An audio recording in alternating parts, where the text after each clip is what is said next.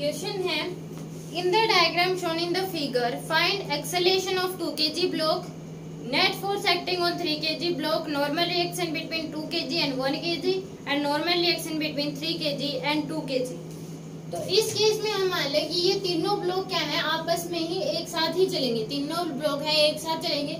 नीचे की तरफ़ लग रहा है 60 न्यूटन और ऊपर से लग रहा है 80 न्यूटन तो जो हमारे पास ज़्यादा फोर्स है, वो F1 है तो ये सारे ब्लॉक एक साथ ऊपर की तरफ़ चलेंगे, तभी क्या होंगे? फ्रिक्शन लेस होंगे ओके तो इस केस में हम पूरे को एक सिस्टम मान ले तो पूरे को एक सिस्टम मान ले तो नीचे क्या लगेगा? M G sine theta six newton है, यानी कि थर्टी न्यूटन और एक हमारे पास लग रहा है एटीन न्यूटन ऊपर की तरफ़ लग रहा है सिक्सटीन न्यूटन तो एफ़ नेट हमारे पास क्या आ जाएगा ट्वेल्व न्यूटन का एफ़ नेट आ जाएगा तो एक्सेलेशन क्या आ जाएगा हमारे पास? ट्वेल्व डिवाइड बाई में सिक्स यानी कि two metre per second square का।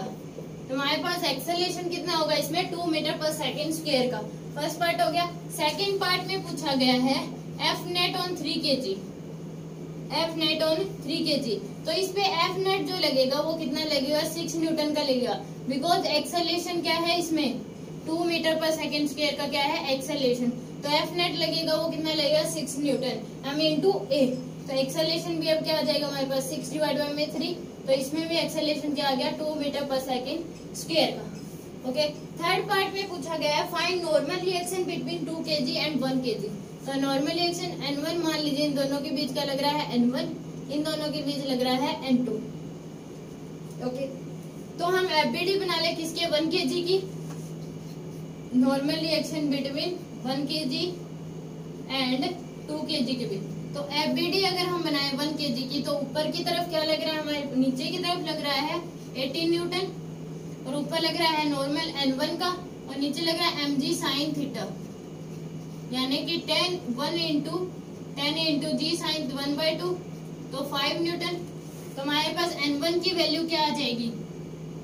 और इफ़ेक्ट बनाए तो ऊपर की तरफ़ इसमें क्या लग रहा है? टू मीटर पर सेकेंड का क्या लग रहा है हमारे पास? टू मीटर पर सेकेंड की एक्सेलेशन आ रही तो एफ़ बी डी और ये हमारे पास क्या हो गया? इफ़ेक्ट तो N one minus twenty three equal to क्या आ गया हमारे पास? टू तो एन वन की वैल्यू क्या आ गई? Twenty five newton N one की वैल्यू क्या आ गई? ट्वेंटी फाइव न्यूटन अब हमें निकालना है normal reaction between three K G and to K जी तो थ्री के जी का एफबीडी इफ़ेक्ट बना ले। थर्ड फोर्थ पार्ट में।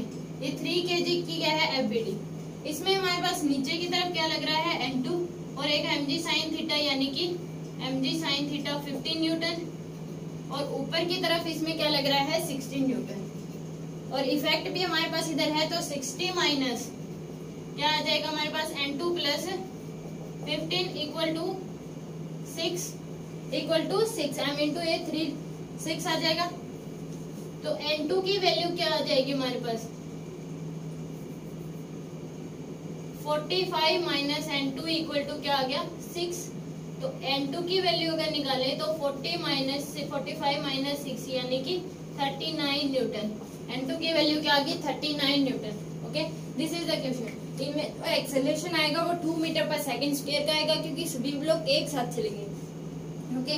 और एफ़ नेट होगा थ्री के जी पे, वो होगा सिक्स न्यूटन क्योंकि एक्सेलेशन आ रहा है two metre per second square का। और नॉर्मल रिएक्शन बिटवीन वन के जी एंड टू के जी हमारे पास आएगा ट्वेंटी फाइव न्यूटन और थ्री के जी और टू के जी के बीच कितना आएगा? Thirty nine newton this is the question